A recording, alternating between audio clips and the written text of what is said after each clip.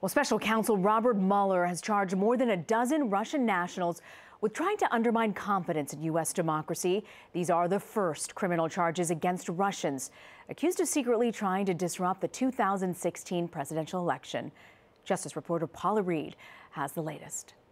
The Russian conspirators want to promote discord in the United States. On Friday, Deputy Attorney General Rod Rosenstein revealed new details about how the Russians meddled in the 2016 election. The defendants posed as politically and socially active Americans, advocating for and against particular candidates. Prosecutors allege 12 Russian nationals worked for a company called Internet Research Agency in this nondescript building in St. Petersburg, Russia.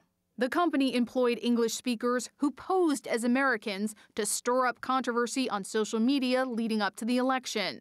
The Russian operatives were allegedly instructed to use any opportunity to criticize Hillary and the rest, except Sanders and Trump, we support them. The operation was funded by Yevgeny Prigozhin, a close associate of President Vladimir Putin.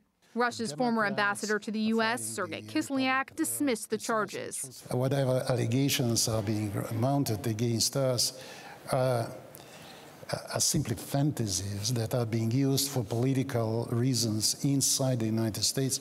The indictment also alleges that some members of the Trump campaign unwittingly shared some of the Russian propaganda on social media. But Rosenstein emphasized that there are no allegations that any Americans had knowledge of the operation. The nature of the scheme was that the defendants took extraordinary steps to make it appear that they were ordinary American political activists.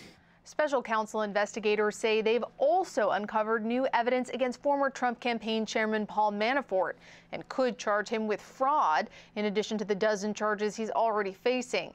Now, Manafort's trial is not scheduled to begin until the fall, which suggests the special counsel's work will continue through this year and likely into next year as well. Rena? Paula Reid in Washington. Thanks, Paula.